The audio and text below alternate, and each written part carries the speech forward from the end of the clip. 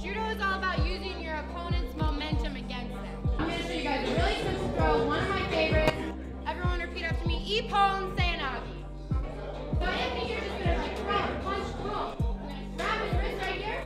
I'm going to make a muscle like this, okay? I'm going to take this muscle, I'm going to put it right here. Magic big toe, I'm going to this big toe.